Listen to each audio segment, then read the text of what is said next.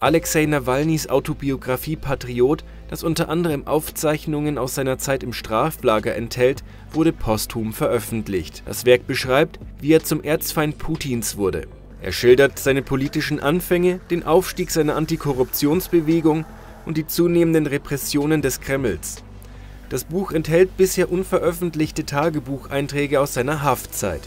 Mehr als 200 Seiten widmen sich seinem Gefängnistagebuch.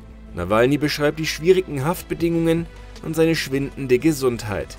Mit den Worten Meine Geschichte geht weiter gibt er seinen Anhängern zudem Hoffnung auf Veränderung.